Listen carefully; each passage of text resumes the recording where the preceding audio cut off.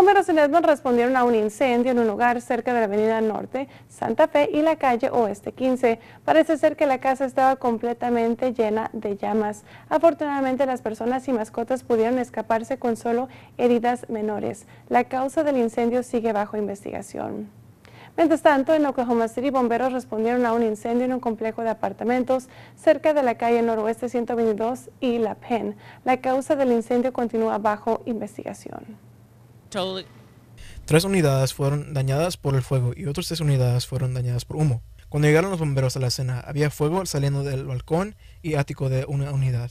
El incendio se extendió desde el ático y afectó a las otras unidades. Una persona sufrió quemadas en el brazo y hombro y recibió tratamiento en la escena.